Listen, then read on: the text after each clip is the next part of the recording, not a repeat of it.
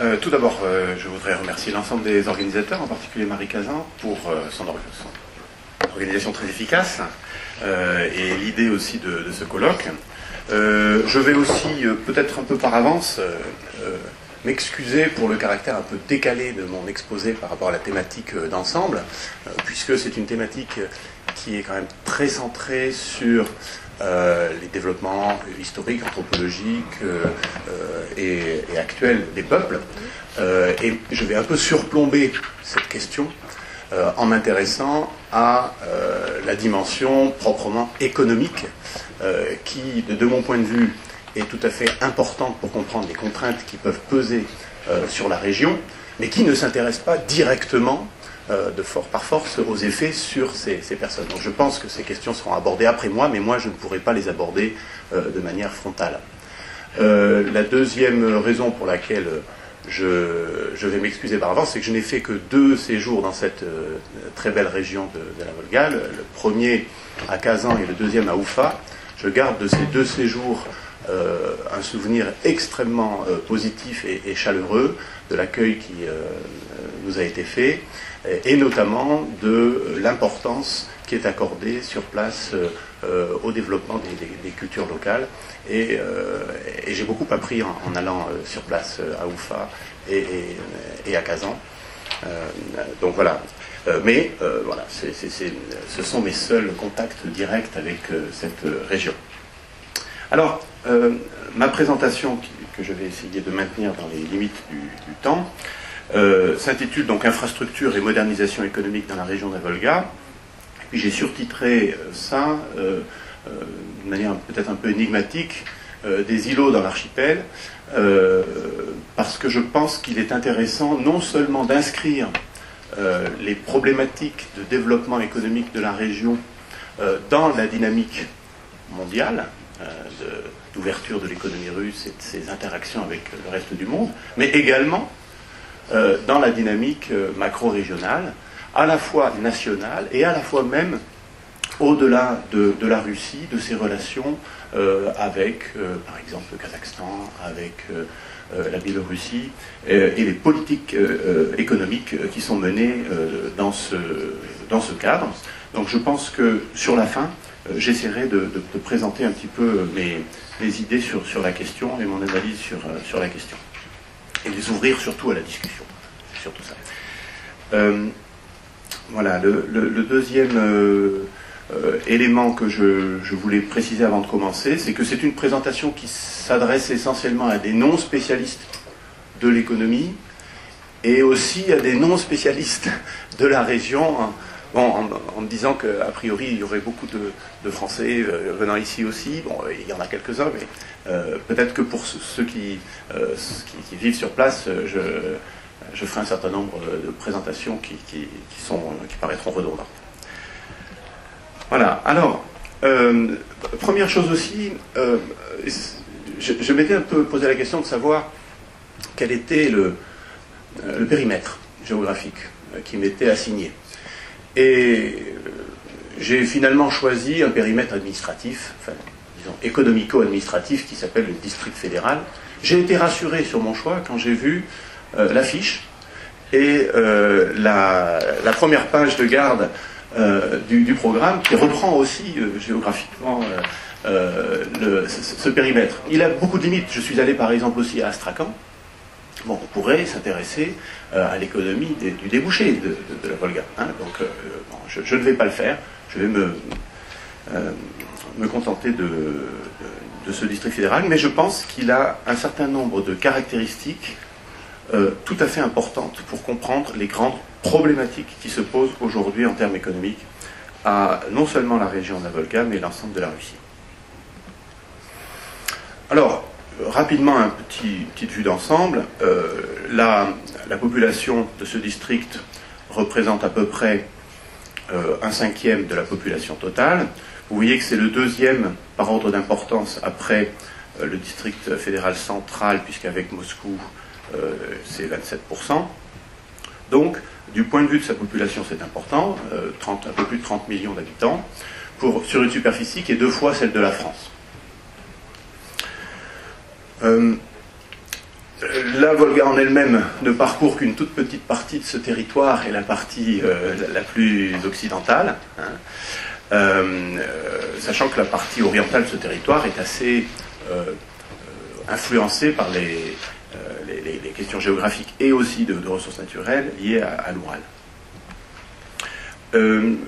les grands centres urbains sont relativement nombreux. Nijni Novgorod est le plus grand d'entre eux, c'est aussi euh, le chef-lieu de, ce, district fédéral.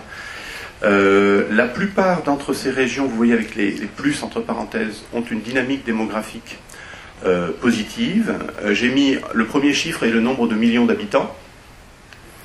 entre parenthèses, vous avez le fait que c'est une dynamique de croissance une dynamique de décroissance. Donc on voit que Perm, Saratov et Ijevsk ne croissent pas. Et euh, le dernier chiffre, c'est le rang, c'est-à-dire dans, euh, l'ensemble des, centres urbains euh, de la Fédération de Russie, quelle, est leur place en termes d'importance relative?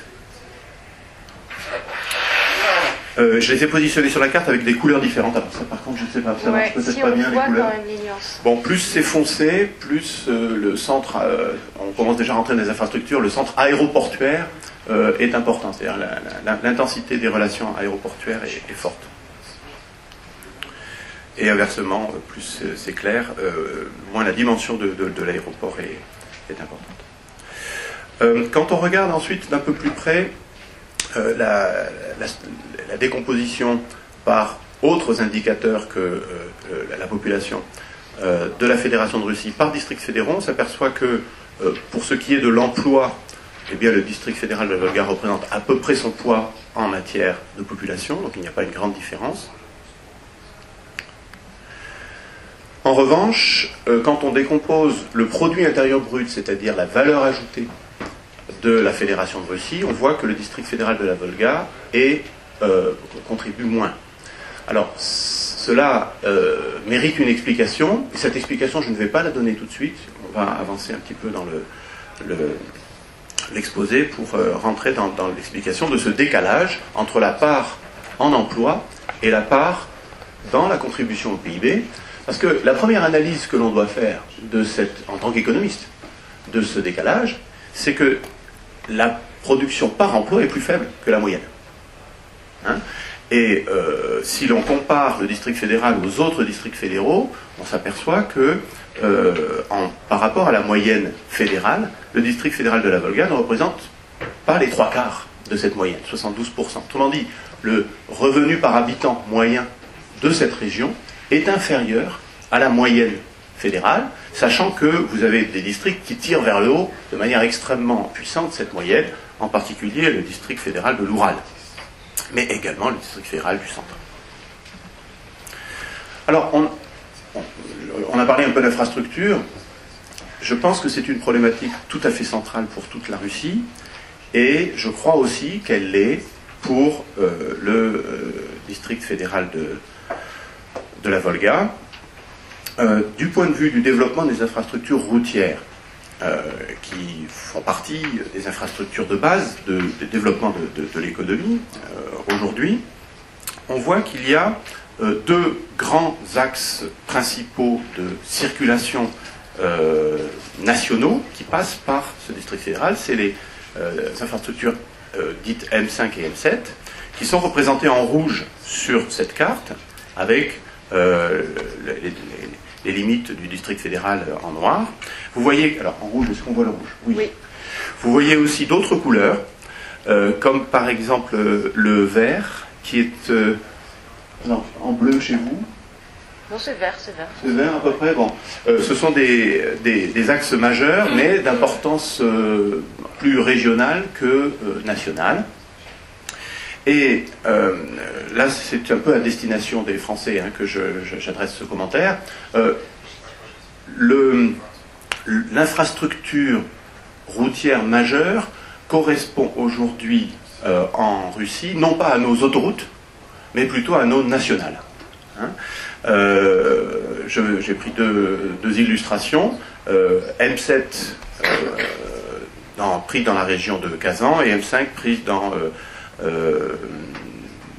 côté de. Non, je crois que M7 est du côté de Oufa plutôt, Et ici, la, photo correspondant à M5, c'est dans, la, région d'Orienburg. Voilà. Donc vous voyez que ce sont des axes de communication qui sont majeurs pour l'économie nationale, mais qui ne correspondent quand même pas encore à nos axes de communication autoroutiers. et ça, c'est un point qui a un impact sur les possibilités de développement économique je reviendrai dessus euh, tout à l'heure, il y a euh, euh, dans les possibilités de développement économique un rôle très important qui, est accordé aux infrastructures de communication routière, pas seulement bien sûr, mais en particulier, et la, notion d'économie d'archipel renvoie aussi un peu à cette question-là, je reviendrai dessus tout à l'heure. ça ne veut pas dire qu'il n'y a pas d'efforts dans ce domaine-là, mais on va voir des efforts de ménage. J'ai fait un petit calcul qui est, euh, sur la base des temps de trajet, euh, la vitesse moyenne à laquelle on peut se déplacer d'un point à un autre euh, entre les grandes villes à l'intérieur de ce district. Et vous voyez que pour ce qui est de la route, c'est la partie haute de mon tableau, la vitesse moyenne est aux alentours de 70, 65 dans ces grands axes, soit vert, soit rouge, que j'ai mentionné ici. Pourquoi une vitesse moyenne de ce type-là? Pour deux raisons. D'abord, pour la raison que j'ai dite, c'est-à-dire qu'il n'y a pas de véritable autoroute, mais des nationales avec des feux qui stoppent la circulation, hein, donc euh, on ferme. Euh, et aussi parce qu'il n'y a pas de contournement routier important euh, des grands centres urbains qui permettrait de fluidifier la circulation. quand on regarde la vitesse moyenne du rail, on a à peu près les les mêmes chiffres avec, euh, à deux ou trois exceptions près, une vitesse moyenne un peu plus faible. Pourquoi est-ce que je parle de vitesse euh, euh, Parce qu'en fait, en économie, tout est affaire de vitesse. C'est du point de vue des indicateurs que les économistes utilisent pour parler de la richesse, au fond, il y a la notion de vitesse. À quelle vitesse on produit, à quelle vitesse on circule, à quelle vitesse on échange. Hein. Et donc cette question d'infrastructure euh, est euh, une question tout à fait centrale euh, qui donne un peu les conditions de possibilité de l'accélération de, l'activité économique, quelle qu'elle soit. Et on va voir que ce n'est pas que de l'activité économique matérielle, mais ça peut être aussi de l'activité économique immatérielle. J'ai dit tout à l'heure qu'il y, avait, aussi des, efforts en matière d'investissement. Vous voyez ici euh, les données statistiques correspondant aux, euh, investissements sur, les routes euh, en dur dans la région, et on voit qu'il y a une tendance à l'augmentation, hein, avec une accélération en 2012, qui montre que, globalement, les autorités ont pris en compte ce problème de des infrastructures routières et des infrastructures de communication et tente de rattraper euh, ce, retard, euh, étant entendu que euh, c'est un point qui est tout à fait crucial pour le développement des autres activités économiques, d'être en capacité d'assurer des liaisons les plus efficaces possibles entre ces pôles de vie que sont les, grandes villes, et évidemment, si possible, les relier à d'autres lieux de vie.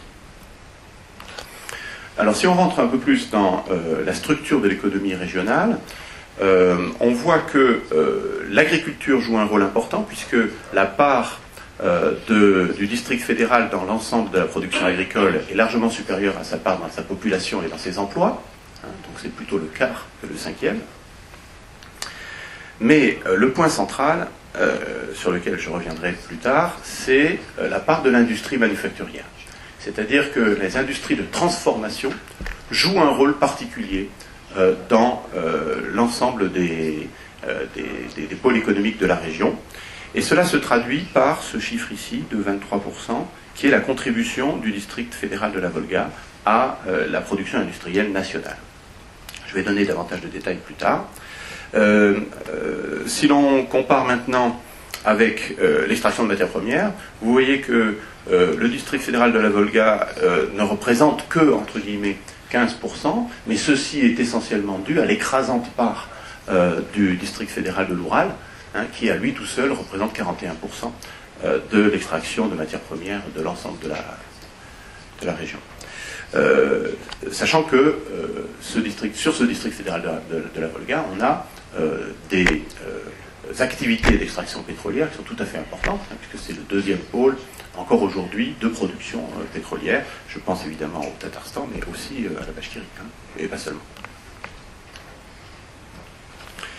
Et euh, dernier point qui est plus problématique à mon avis, c'est l'investissement, c'est-à-dire le renouvellement et la modernisation des capacités de production de, de l'économie eh la contribution régionale, vous voyez, du district fédéral de la Volga, représente 16% de l'ensemble, ce qui est en dessous de son poids euh, euh, en matière de population et ce qui est à peu près au niveau de son poids en matière de PIB, mais ce qui, euh, là aussi, risque de, fragiliser son, son, développement économique à terme.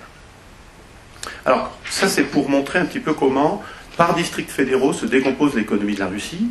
Et on va continuer ce, panorama de la structure d'économie régionale en rentrant un peu plus dans euh, la structure propre euh, de, l'économie régionale. Alors, dans l'industrie, donc je vais laisser de côté l'agriculture. Dans l'industrie, il y a un point qui est tout à fait central, c'est ce qu'on appelle les constructions mécaniques. C'est-à-dire toutes les activités qui sont liées à la production de biens d'équipement bien d'équipement professionnel ou bien d'équipement euh, personnel. Et vous voyez que c'est plus du tiers euh, de euh, l'industrie régionale. les hydrocarbures ne représentent que 7%, l'industrie agroalimentaire représente 10%, ce qui est relativement élevé. La chimie et la pétrochimie représentent un, point important parce que vous avez le, principal centre de pétrochimie de Russie qui est situé dans, la région. Et la production d'énergie électrique, bien sûr, notamment du fait des installations hydroélectriques, mais pas seulement. Alors maintenant, euh, illustrons ça avec deux. Je vais prendre deux exemples. Deux exemples sur euh, euh, les, constructions mécaniques. un exemple qui concerne une production civile et ensuite je vous montrerai un exemple qui concerne les productions du complexe militaire industriel. Alors, les grands centres de, production de véhicules de transport sont les grandes villes que nous avons vues euh, au début de cet exposé, c'est-à-dire Nizhny Novgorod, Kazan, Toliati, Ulyanovsk, Ijevsk et Saransk, et c'est surtout Ijevsk et Toliati. Euh, je reviendrai sur le rôle important de, Toliati, mais euh, on le voit déjà. Euh, pour euh, les bus, pour les trolleybus, pour les tracteurs, pour la construction navale et fluviale, vous avez des pôles industriels tout à fait centraux, aujourd'hui encore dans chacune de ces euh, villes. si l'on rentre un peu plus dans le détail, on peut voir les installations régionales du complexe militaire industriel qui jouent un rôle dans la production de construction mécanique, avec des avions, par exemple. Nijni Novgorod, Samara, Kazan, Saratov, Ulyanovsk sont des centres importants. Euh, de mémoire, la construction aéronautique du district fédéral de la Volga représente 85% de la construction aéronautique de l'ensemble de la Fédération de Russie. 85%. Euh, la, construction, euh, la, construction d'automobiles représente aussi 80% du total. Il y a deux autres grands centres, Kaluga et Saint-Pétersbourg, mais ils sont en, train de monter en puissance, euh, et pour l'instant, c'est encore le district fédéral euh, de la Volga qui produit l'écrasante majorité des véhicules automobiles. et donc, voilà, vous pouvez regarder soit verticalement ce tableau en regardant quelles sont les productions qui sont réalisées dans, les, villes qui sont mentionnées ici, les villes ou, des, centres qui sont à côté, hein, en particulier les villes fermées euh, de, Penza, et de d'Arzamas, ne euh, sont pas tout à fait euh, dans, la conurbation des villes que j'indique ici. Mais vous pouvez le regarder aussi horizontalement pour voir comment une production industrielle se décompose ou se répartit géographiquement. Et si vous regardez les choses horizontalement, en fait, vous avez une image de l'héritage du système de planification euh, de l'industrie, euh, et notamment ici l'industrie militaire russe. Puisque ces centres-là reprennent en fait les centres de, cet héritage-là. Alors, un troisième point, toujours pour essayer de comprendre l'importance relative du district fédéral de la Volga dans l'économie de la Fédération de Russie, c'est sa, contribution au solde commercial. Qu'est-ce que ça veut dire? Ça veut dire je prends l'ensemble des exportations et l'ensemble des importations de la Fédération de Russie, je regarde quel est le solde, et je décompose ce solde en fonction des exportations et des importations de euh, chacun des districts fédéraux. Et on s'aperçoit que le district fédéral de la Volga joue un rôle tout à fait important.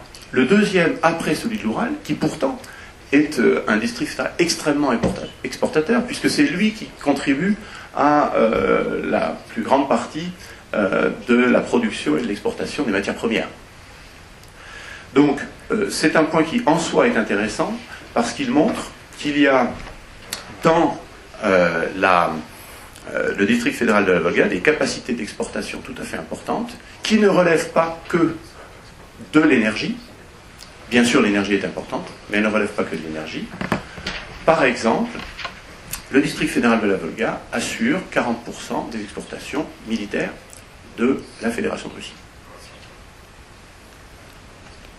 ce qui se comprend compte tenu de l'ensemble des installations qui sont présentes sur son territoire. Mais 40%, c'est très important, hein, c'est deux fois le poids dans la population. Et donc, par exemple, une autre anecdote, enfin une euh, remarque là-dessus, c'est que le district fédéral de la Volga contribue davantage au solde commercial positif de la Russie que le district fédéral du centre, qui est beaucoup plus puissant économiquement. Une dernière question qui peut être abordée pour euh, essayer d'analyser un petit peu la contribution du district fédéral de la Volga dans la, euh, en Russie, c'est une question plus fiscale. C'est-à-dire euh, comment le district fédéral s'insère-t-il dans ce qu'on appelle le fédéralisme budgétaire en Russie, c'est-à-dire le jeu des contributions relatives de chacun des sujets de la Fédération de Russie euh, à la fiscalité de l'ensemble de la fédération. Et là, euh, pour cela, j'ai comparé deux données. Une donnée qui reprend les contributions fiscales totales, c'est-à-dire à l'échelle des districts, à l'échelle des sujets et à l'échelle fédérale. Et vous voyez ici que le district fédéral euh, de la Volga représente à peu près l'équivalent de sa contribution au PIB, donc il n'y a pas une surponction sur euh, le district fédéral de la Volga euh, par le, reste de l'économie russe. Mais on peut avoir une deuxième approche de cette insertion dans le fédéralisme budgétaire russe en regardant les contributions régionales au budget fédéral, simplement, uniquement au budget fédéral, c'est-à-dire sans tenir compte de euh, ce qui se passe au niveau du, district fédéral de la, du district fédéral de la. Et là, vous voyez que la répartition est tout à fait différente. Vous voyez, par exemple, que le district fédéral de l'Oural est le principal contributeur. Et vous voyez que le district fédéral de la Volga est un contributeur déjà un peu plus important euh, que euh, pour euh, sa simple contribution aux recettes totales.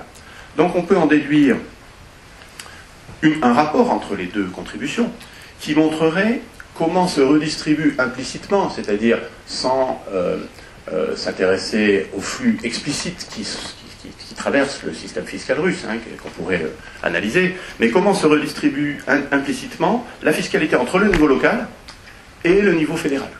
Et là, on voit que, évidemment, c'est le district fédéral de l'Oural qui est le principal contributeur net au budget fédéral, hein, mais que le district fédéral de la Volga est le seul des autres districts à avoir une contribution nette positive, puisqu'il est au-dessus, euh, très légèrement au-dessus, de la ligne de 100%, euh, qui euh, montre un équilibre, une neutralité fiscale du point de vue du rapport entre le fédéral et le régional. Donc, y compris du point de vue fiscal dans la cohésion budgétaire de la fédération, le, district fédéral de la Volga a une importance particulière. Alors, quelques enjeux pour euh, terminer, les enjeux des difficultés hein, économiques qui euh, qui traversent cette région. la première de ces difficultés, qui est en partie liée à l'héritage de la planification centralisée, c'est la question des monovilles. la première d'entre elles étant Togliatti,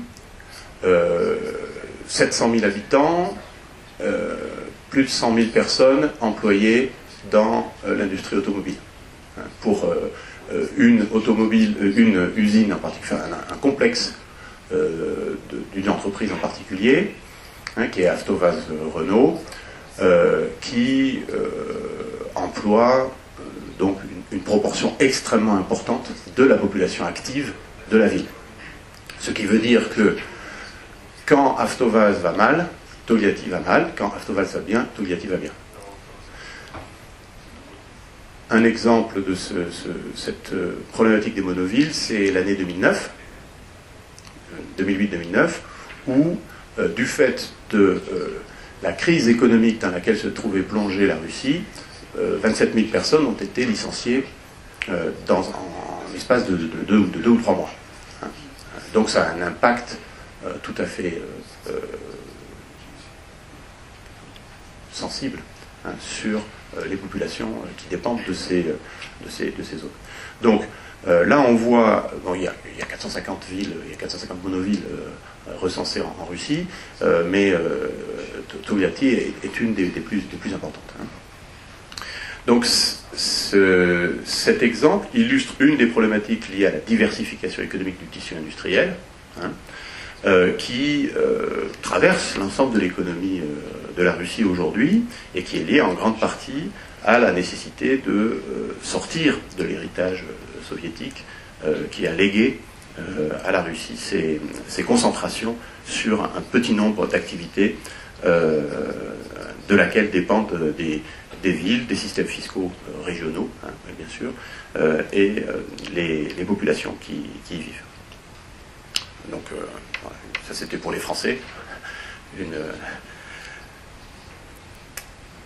Des, images de, cette usine. Euh, alors, pour essayer d'inciter à la diversification économique, des zones économiques spéciales ont été euh, euh, lancées dans l'ensemble du territoire de, la Russie, et vous en avez deux dans le district fédéral, Bouga, qui d'ailleurs euh, abrite aussi des euh, entreprises d'automobiles et euh. L'ensemble de ces zones industrielles sont en cours de développement. Hein. donc certaines sont à peine en train de, sortir de terre, mais on voit qu'il y a là aussi un enjeu en termes d'infrastructure important. pour vous donner un exemple du rôle de ces infrastructures, si vous allez sur les sites internet de ces, zones économiques spéciales, vous verrez que euh, les éléments qui sont mis en avant de manière centrale par euh, les autorités qui gèrent ces, centres sont des éléments liés aux infrastructures et, à la facilité relative à laquelle on se connecte aux différents flux, euh, soit physiques, soit d'énergie, quand on est dans, cette, dans cette zone. Hein. Donc ce sont pas seulement des questions administratives et fiscales, mais c'est aussi des questions d'accessibilité, euh, de connectivité euh, et de liaison avec les infrastructures existantes. Euh, un autre exemple, c'est la manière dont on peut créer son entreprise, se raccorder au réseau électrique, etc. Il y a une, grosse enquête qui est réalisée année après année par la Banque mondiale dans le monde entier, 189 pays qui sont étudiés chaque année et qui euh, avait euh, un certain nombre de limites pour la Russie jusqu'en 2010, euh, la première de ces limites étant qu'elle était centrée sur Moscou. Et donc pour essayer de surmonter ces limites, les, les responsables de la Banque mondiale ont proposé à partir de 2009 ou 2010 des enquêtes sur des villes autres que Moscou. Et 30 villes ont été analysées, et euh, les critères, je ne rentre pas trop dans le détail des critères, mais c'est combien de temps et combien ça coûte pour créer son entreprise, euh, combien de temps et combien ça coûte euh, de se raccorder à l'électricité, d'obtenir un raccordement à l'électricité, combien de temps et combien ça coûte d'obtenir un permis de construire quand on est une, entreprise. Et l'autre intérêt de cette enquête, c'est que ça prend le point de vue d'une petite et moyenne entreprise, et pas d'une très grosse multinationale. Et donc d'une entreprise qui euh, n'a pas forcément tous les moyens pour obtenir rapidement une réponse à ces questions de la part des autorités euh, locales. Donc c'est une enquête que je trouve intéressante, même si bien sûr méthodologiquement elle peut avoir des, limites. Et alors ce qui est intéressant, c'est de voir que à l'intérieur de ces 30 villes de Russie qui ont été analysées, la ville qui obtenait les résultats euh, les plus, euh, les, plus élevés, c'était Ulyanovsk. Ensuite, Saransk. Et par contre, qu'on avait d'autres villes qui étaient euh, très très loin dans le classement de ces 30 villes russes, hein. en particulier Samara et Perm. Hein. donc, Là, euh, qu'est-ce qu'on peut avoir comme euh, image de ça? Il faut rentrer dans le détail, il faut aller sur place pour s'en rendre compte. Hein, mais qu'est-ce que ça signale? Ça signale aussi euh, la manière dont les autorités locales prennent en charge la question du développement économique des PME sur leur territoire. Hein. Et on sait que pour le cas de la Russie, ce développement des PME sur le territoire est un développement qui est tout à fait insuffisant. Hein, et, qu'il faut essayer de, le développer. Donc on voit ici qu'on a deux images en fait du district fédéral de la Volga. Une première image qui montre que certaines villes ont vraiment pris euh, la mesure de, euh, l'importance de, euh, de, faciliter le, travail aux, entreprises qui souhaitent s'implanter sur leur territoire et que d'autres sont encore très très en, retard. Et je voulais illustrer ça par des choses plus concrètes pour que ce ne soit pas trop abstrait. Donc j'ai donné deux exemples de, disparités qui sont relevés par la Banque mondiale. Le coût du permis de construire pour une petite entreprise représente 40% du revenu par habitant à Kazan, et 418% à Samara. Donc on va de 1 à 10 pour obtenir un permis de construire, en termes de coûts euh, liés à cette obtention.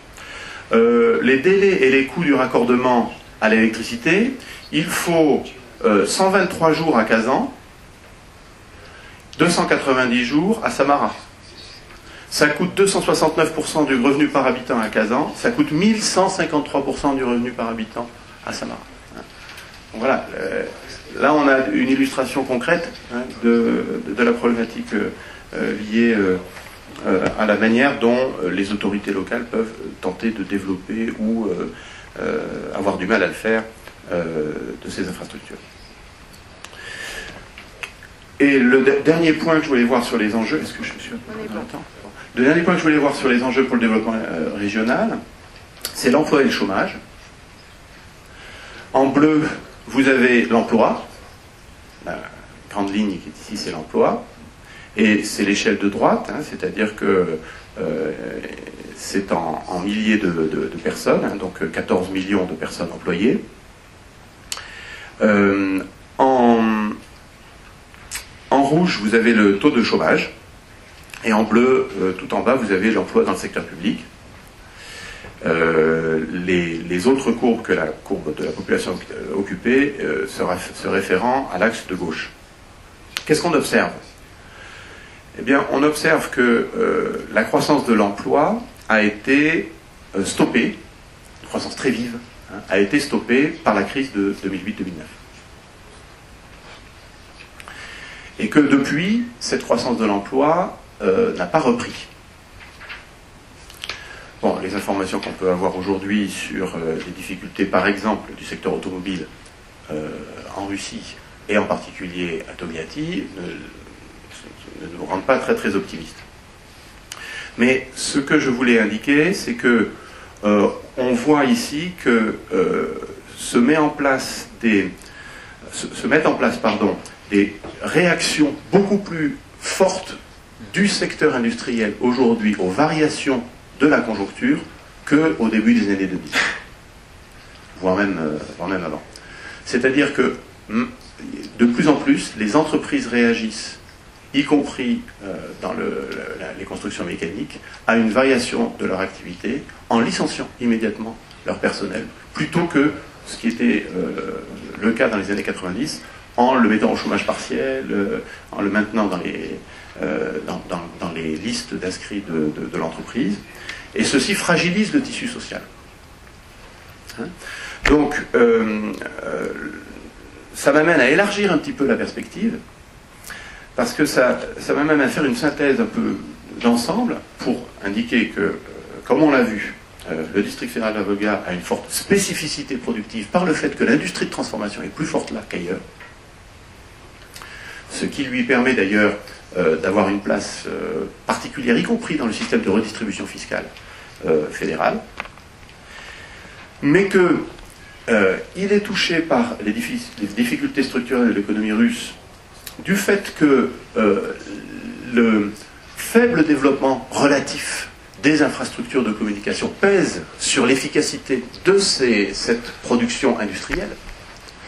Parce que si les infrastructures sont importantes pour acheminer du pétrole et du gaz, elles le sont beaucoup plus pour acheminer des produits euh, semi-finis ou des produits manufacturés ou des composants dans un système industriel mondialisé. Et de ce point de vue-là, la logistique, c'est-à-dire la capacité à faire transiter des flux de manière efficace et rapide, est une compétence tout à fait importante des territoires. Euh, donc, euh, c'est aussi pour ça que je voulais revenir sur l'exemple que j'avais donné de, la notion d'économie d'archipel avec la question des routes. Euh, ce que dit Yandex, par exemple, en disant moi, je souhaite développer le e-commerce et la, distribution dans le territoire de la Russie. C'est que, bien sûr, je veux m'implanter euh, dans l'ensemble du territoire de la Russie, mais pour ça, il faut que euh, je puisse livrer les produits rapidement. Hein, c'est pas tout cliquer euh, sur le site du, commerçant. il faut aussi être sûr que la livraison va avoir lieu en temps et en heure. Et, ça, ça suppose des infrastructures importantes. Hein, donc là, on a un point, à mon avis, qui est un point crucial dans le développement de l'ensemble de la région, euh, qui aujourd'hui est encore un peu une économie d'archipel, c'est-à-dire des îlots euh, qui sont faiblement reliés entre eux et donc qui ont une coordination difficile, relativement en tout cas difficile. Hein. Bien sûr qu'il y a d'autres endroits qui sont plus difficiles, mais relativement difficiles. Et je pense que c'est l'un des principaux enjeux aujourd'hui de la politique industrielle, notamment stratégie 2020, euh, du gouvernement euh, de, Russie, hein, qui a été euh, lancé en 2007-2008, qui vise à diversifier l'économie de la Russie, sortir de sa dépendance aux, hydrocarbures. Le district fédéral de la Volga, par sa position dans l'ensemble de l'industrie, joue un rôle central, on le voit, mais en même temps, il est soumis à des tensions qui sont liées euh, à la structure très monoproductrice de ces, de ces productions et au fait qu'elles sont relativement peu, euh, insuffisamment densément, insuffisamment intensément reliées les unes avec les autres, ce qui limite leur compétitivité. Hein. Et donc, dans une économie qui s'ouvre, euh, on a des, de, nouvelles compétences qui s'imposent et qui font que les régions euh, peuvent euh, se développer plus ou moins rapidement suivant qu'elles appuient sur ces compétences ou suivant qu'elles les négligent. Je vous remercie.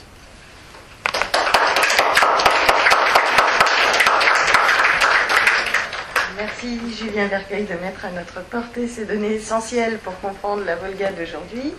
Euh, y a-t-il des questions? Oui.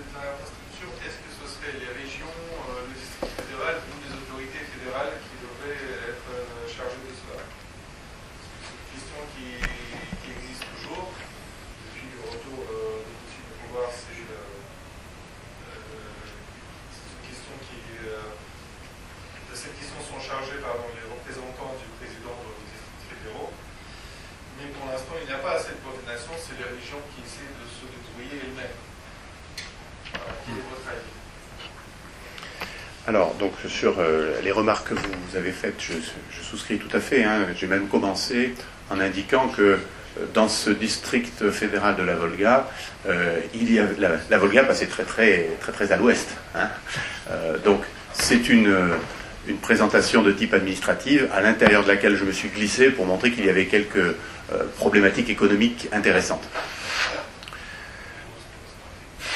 Mais bon, même Ijevsk est une euh, ville dans laquelle l'industrie de transformation et l'industrie euh, en particulier de construction mécanique est très importante aussi. Donc, même si on n'est pas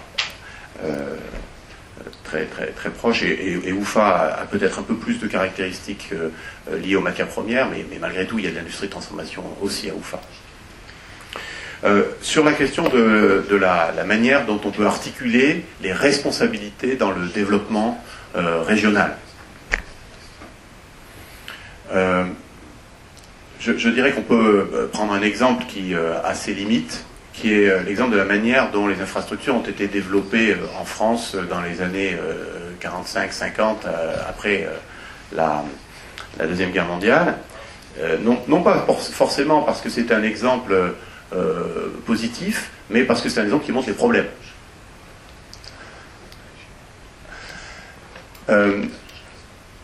dans la première étape, c'est-à-dire jusqu'au début des années 80, c'est l'État central qui a organisé le développement des infrastructures.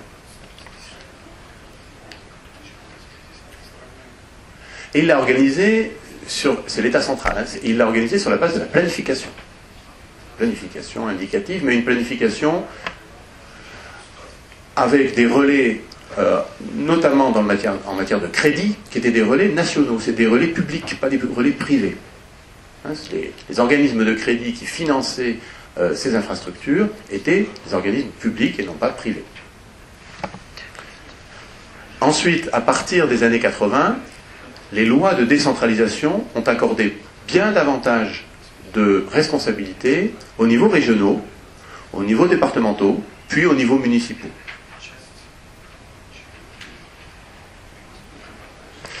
Et on a vu les avantages et les inconvénients de ces deux formules Évidemment, l'avantage, le gros avantage de la formule étatique, euh, il réside dans le fait qu'il y a une coordination de fait qui se fait par le haut et qui homogénéise le territoire. Bien. On n'a pas une succession de fiefs qui euh, sont concurrents entre eux et qui essaient de tirer euh, la couverture à eux, hein, si je puis dire. Mais le gros inconvénient, c'est que ça ne repose pas forcément sur une analyse fine des besoins locaux de la population. Donc, euh. Et, donc, là, vous avez les inconvénients de la deuxième partie euh, euh, du, développement des infrastructures en France. Bien. Donc, qu'est-ce qu'il faut en conclure de ça? Il faut en conclure qu'évidemment, la combinaison des deux est, absolument indispensable. Sinon, jamais on ne développera des, régions sous-développées. Si on n'a pas euh, une impulsion qui vient du centre, on ne peut pas ponctionner les régions riches pour aller apporter euh, davantage d'infrastructures aux régions moins riches. Ça, ça n'est pas possible. Donc il faut absolument ce mécanisme de redistribution fédérale. C'est indispensable. Mais en même temps que ce mécanisme doit être euh, mis en place pour financer, je pense que sur le plan de la décision, il doit y avoir une décentralisation. Et c'est là toute la difficulté, parce que ceux qui financent veulent décider. Donc c'est une difficulté, mais c'est une difficulté qu'il faut euh, connaître et savoir euh, surmonter.